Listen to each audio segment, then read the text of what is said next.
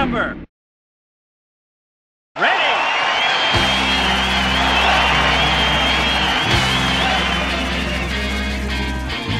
Okay, here we go.